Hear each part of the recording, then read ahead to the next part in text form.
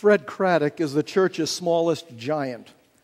Physically, he's a tiny little guy, but his intelligence and talent are tremendous. Fred is one of America's premier preachers.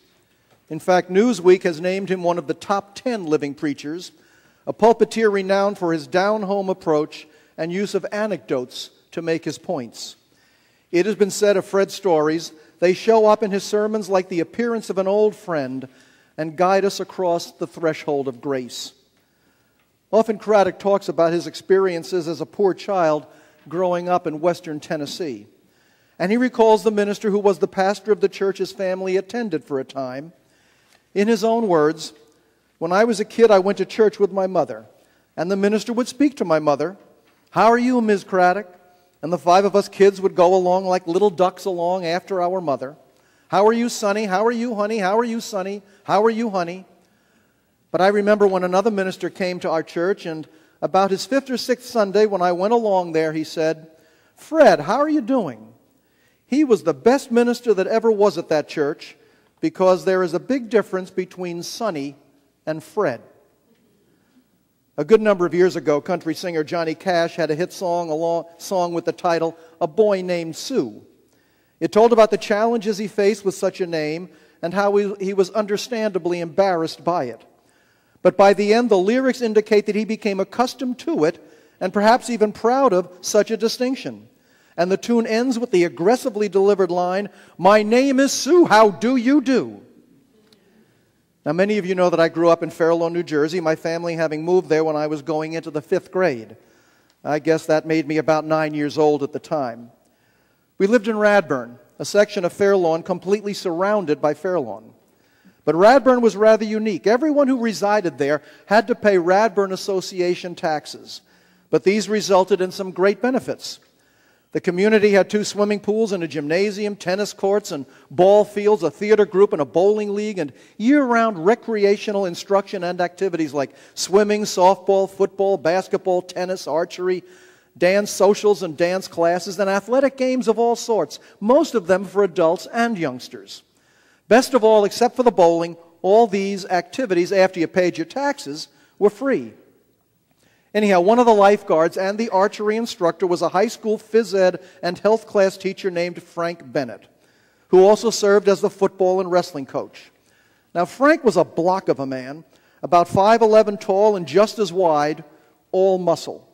He was not known for a cheery disposition or kindly attitude. Frank was tough and seemed to see it as his mission in life to make everyone else the same, especially the males under his authority.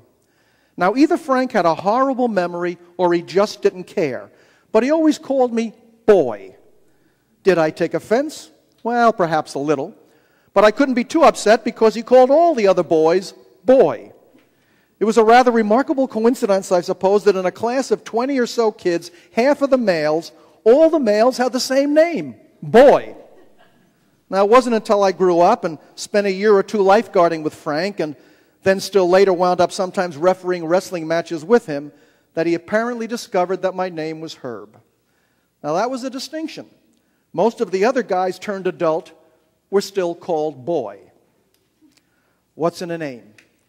Wasn't it William Shakespeare who, in Romeo and Juliet, asked that question? Well, names are important. They help to identify us. And most primitive societies place a great emphasis on their significance, their value, their magic.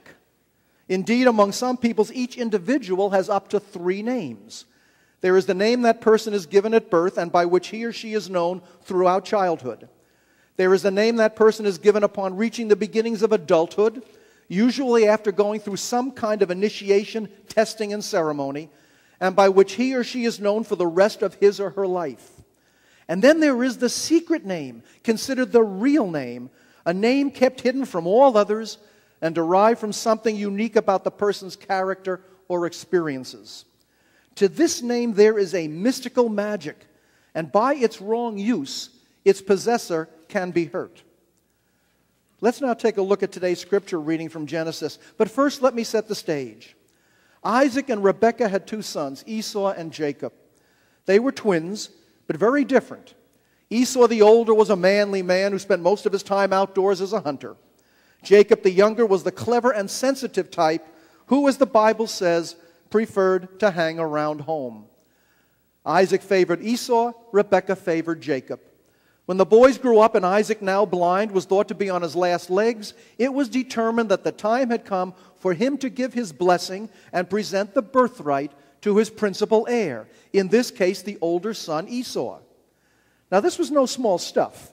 The birthright referred to the inheritance a child would receive when his or her father died, and usually it was an additional part of the total. So then Esau would receive twice as much as Jacob, two parts to one part. And the blessing was what designated the new head of the extended family. Here, the replacement of Isaac by Esau as the paterfamilias. Earlier, Jacob had tricked his very heavily muscled but rather dim witted brother into trading both his birthright and his blessing for a bowl of beans when Esau came back from a hunting trip, tired and hungry. But how could he, in connivance with his mother, trick Isaac into going along with such a change? Remember, Isaac was blind. So Jacob put on some of Esau's garments, which smelled like Esau, attached the skin of a young goat to his hands and neck, served his father the kind of meal that Isaac had asked Esau to get for him after a hunting expedition, and pretended to be his hairier sibling. By the time Esau returned from the field, it was too late. Esau ranted, Jacob cowered, but Isaac said that what was done was done, and he would not reverse what had occurred. However, Jacob was smart enough to realize that he would have little time to enjoy the fruits of his deception, especially when Esau said that he was going to kill him after Jacob died, after uh, Isaac died. So he took off for Haran, where he planned to seek sanctuary with Laban, Rebekah's brother. Many years passed as Jacob and Laban partnered up, and Jacob married Laban's two daughters. But they had a falling out, and Jacob decided to go home. One problem Esau was still there, and Jacob did not know whether or not his anger had lessened and his attitude had changed. But he took his family and possessions and went anyway, hoping to work things out with his brother when he got that far. They reached the banks of the Jabbok River, the boundary line of Esau's territory. After sending Esau presents to win his favor, well, actually to bribe him, Jacob sent his entourage across the stream and remained behind by himself. There, that night, he fell into a fitful slumber. The Bible tells us that a man came and wrestled with Jacob the entire night. Was this a real man and a real struggle, or a wrestling of the mind produced by Jacob's feelings of guilt and guilt and guilt and fear? At this point, and for the purposes of this sermon, it really doesn't matter. The end result was that after it was all over, and Jacob's adversary had not won, Jacob was convinced that he had somehow wrestled with God. And when his opponent asked for and was given Jacob's name, he said that he would no longer be Jacob, but Israel, because in the words of the account, you have striven with God and with humans and have prevailed. Jacob had won for himself a new name through what he had accomplished, a name uniquely his own because this deed was uniquely his own and this new name would be attached to all his descendants, identifying them by who and what they had come from. Pretty significant, don't you think? Speaking of names, for my 60th birthday, Lorraine asked if I would like to celebrate at Chuck E. Cheese's so that the grandkids could also enjoy the occasion. I enthusiastically re- re- agreed so long as we sat in the back of the restaurant away from the center of the action. When we arrived, I discovered that Lorraine had reserved tables right down in front by the stage on which the big mechanical rat comes out and performs. In the middle of the first table was a big balloon that proclaimed, Happy Birthday, Herb. I thought about deception, the deception that had been wrought upon me and declared that it would not be too bad since the kids were the ones sitting by the balloon and other patrons would assume that it was one of them celebrating a birthday. Our son Eric observed that that was unlikely since who in this day and age would name their son Herb?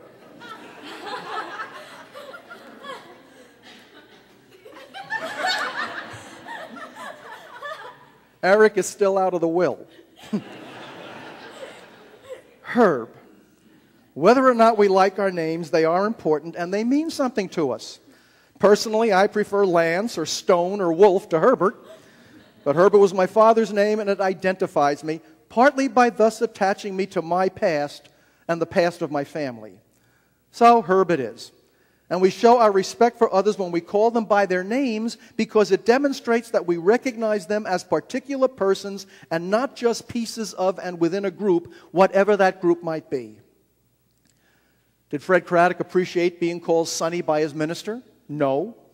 Did Johnny Cash's character in that song appreciate being called Sue, even though that was his name?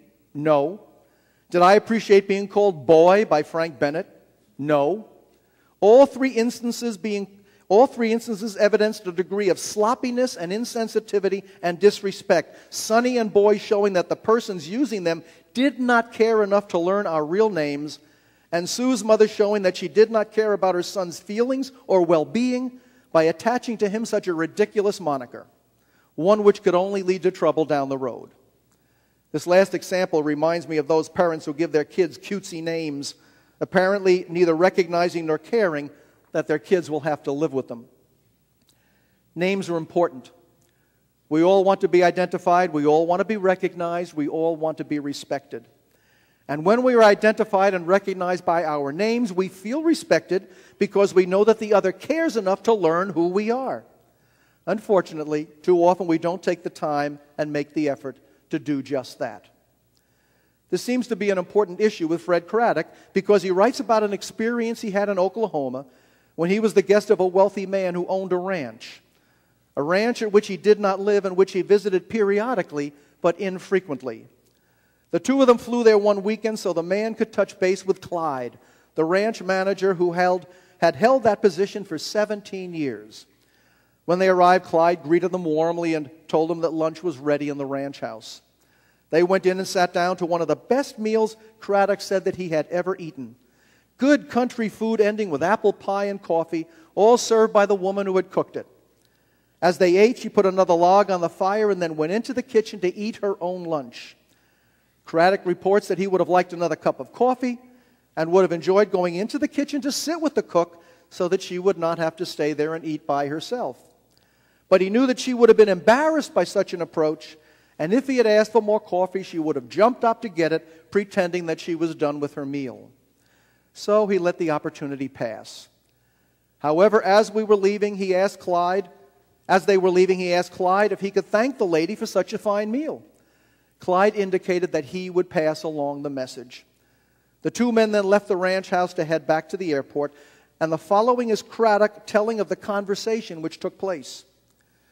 We started out to the car, and I said to my host, I would like to have thanked the lady for the fine meal. Clyde will tell her. I said, Well, it really was a good meal. He said, Yeah, she's a good cook. I said, Who is she? He says, She's Clyde's wife. I said, What's her name? And he said, uh, uh, uh, I think her name is Ruth. Clyde's been managing his place for 17 years, and he thinks her name is Ruth. This reminds me of the teacher at a private, swanky high school who made his students learn the names of the custodians who cleaned their rooms and kept their school in good working condition in an attempt to teach them consideration and humility. He had the feeling that some of them had a tendency to look down upon those who they considered to be beneath them. Are we ever guilty of doing that? When Harry Van Fossen was our music director and tenor soloist, he had a favorite song. Perhaps we could call it his signature song which he sang frequently because people loved to hear it and would request it over and over. The title, There's Something About That Name. The name the song refers to is Jesus, and the piece indicates some of what is special about it. It's in our hymnal, and Adrian is going to sing it for us now.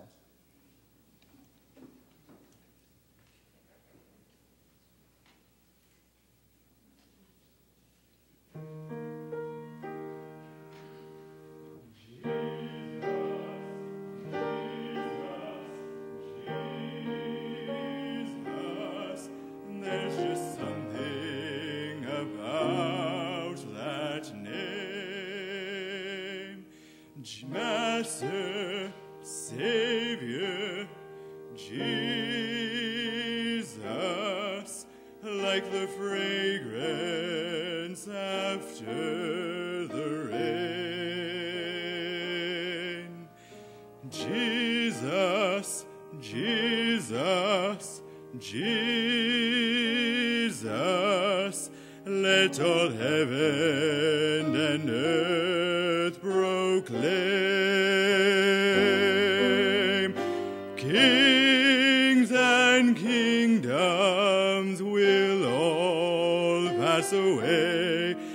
but there's something about that name.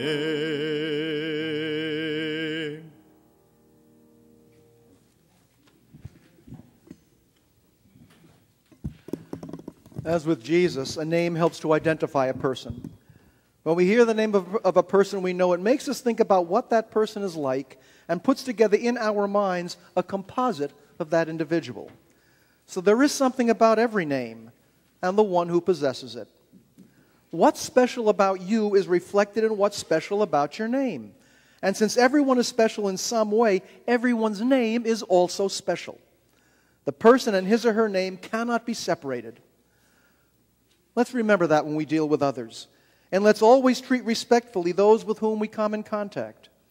God somehow made you and me and everyone. He didn't give us our names, but who and what we are comes to mind when our names are called. My name is Herb.